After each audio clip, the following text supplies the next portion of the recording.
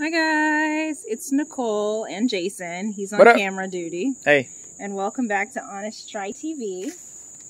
And today we're hoping we can harvest some stuff. Hey. So this is our 8 by 12 foot Vita raised garden from Costco. Um, we bought her on sale for, what was it? You remember? I don't know. It was like nine ninety nine, I think. something Something like that. Yeah. And then we put it together with my parents. And that was in the spring. And so here we are, beginning late summer, I guess. And voila, we've got a garden. So our in our last episode, you were watching me put together the the um, trellises here so that I can mount up our tomatoes because they're going a little crazy. As you can see, I kind of planted too many in one spot. So we've got more like a tomato jungle going on at the moment. Um, but I got them, um, I got the trellises in and I've got them attached so that they're actually, um, my tomato plants are standing up straight now for the most part.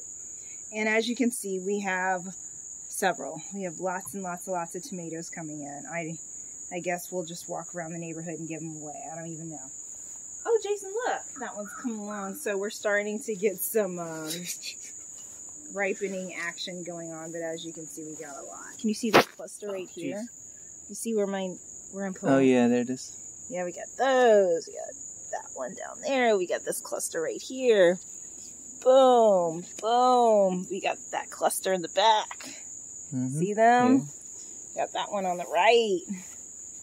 Boom. Oh, Yeah, we got a lot, a lot, a lot of tomatoes. They're not quite ripe. They're a little out of control. Again, this is what happens when you plant six tomato plants in one location. You get a jungle of tomatoes. Look at this. Like, this is crazy. Boom, boom, boom, boom. And they're not the little ones. They're heirlooms. They're the big ones. Nice. So yeah, we're gonna have way too many. So anywho, uh, let's see who's next. So I have my little basket here for harvesting. Can you hold this for me? Yes. And uh, these are our jalapenos. Again, planted too much too close. So as you can see, the um, tomatoes here. I'm gonna have to. I'm gonna have to pin these bad boys up. They're trying to. They're trying to invade. So these are this right here, in my left hand are tomatoes. So let's just send you over here, friend, because you're like in the wrong playpen. Come on, let's go. Let's go back. Back to our neighborhood. okay, there we go. Ah, and I, I don't know. That's not going to last long. so these are our jalapenos starting, starting, starting here, basically. And so let's start with our little buddy here in the back and see what we got. Uh, hello, friend. Hey. I'm just gonna pluck whatever I find. Okay, guys, so this is what we have for jalapenos. There's a couple of other baby ones, like here, but we need to give them a little bit more time.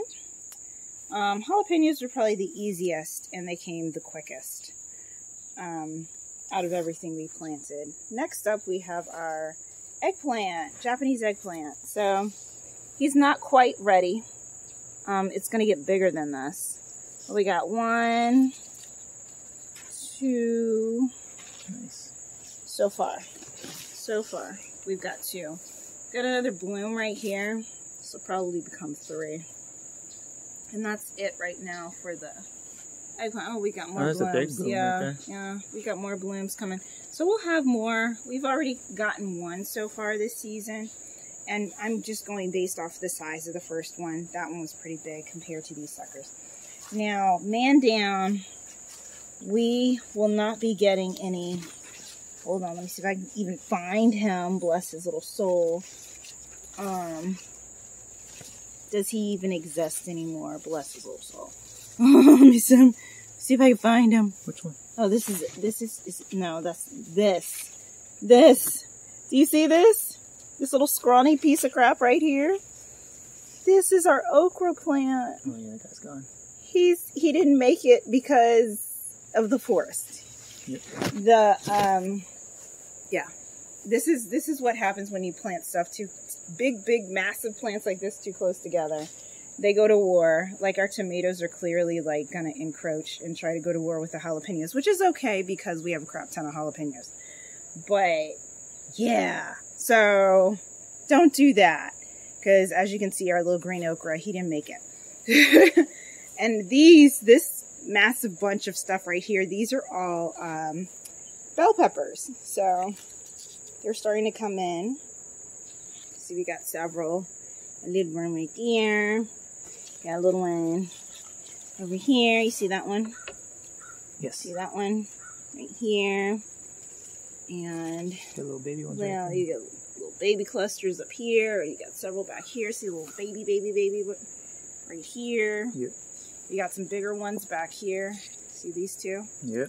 Yeah. So they're they're still coming. Um, they're gonna get bigger. Next we have our squash plant. He's slow as hell. Sorry, he's just really slow. um, he's got lots of blooms, and which should equate to squash, but I don't see anything on him just yet. I don't know. He looks like he's doing good otherwise, but I don't see any actual squash. I'm just double checking. Yeah, there's nothing in there. Nothing in there. Moving on. Chard. Our chard is doing all right.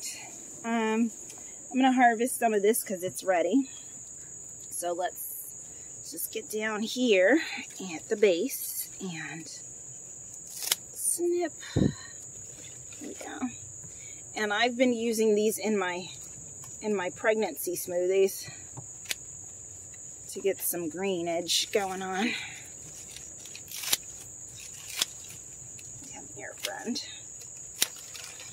Just the leaves, not the stems, because the stems tend to be uh, quite bitter. Um, I haven't cooked with them yet, though. So, maybe we can do that. Stomach's in the way. I can't lean forward as far as I would like. Come here. Here we go. Um, so this is our little herb lab right here. As you can see, I have cilantro, uh, sage, and over there next to our little basket is rosemary. Rosemary ain't doing so hot. Rosemary, granted, I have been clipping a lot of it, but cilantro is going crazy. What I don't understand is like if this part of it is as good as the little part. Because normally when you buy cilantro in the store, it doesn't look like this, right? With the blooms No. and such. It looks like this. Yeah. Like the new leaves. So I'm thinking that I have to trim it and get rid of this stuff and keep it short because I don't think I can use, you know, these more mature leaves. I don't know. Someone in the comments, feel free to tell me. But when I buy cilantro in the store, it doesn't look like that. It looks like this, you know, like the baby leaves, the new ones. Yep. So I'm just going to trim her up so that um, that's all we're getting. All right, so I'll clean up the cilantro. Well, Jason will clean up the cilantro a little later. In the meantime, we got a big old box of tomatoes from Costco. So I'm going to harvest some sage so we can make a caprese salad. Nice.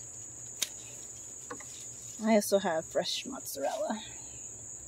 So that'll be nice. Uh, yeah. Okay, guys, so don't forget to like and subscribe. Leave a comment down below. Thank you so much for joining us, joining us on this gardening adventure. We have no idea what we're doing, so mistakes were made, but whatever. we're still making stuff or growing stuff, so yay! So we will see you later. I'm going to go inside and make a caprese salad with my stuff. And I've got chard for my smoothies in the morning. And yeah, we'll see you next time on another episode of Honest Try TV. Bye. Bye.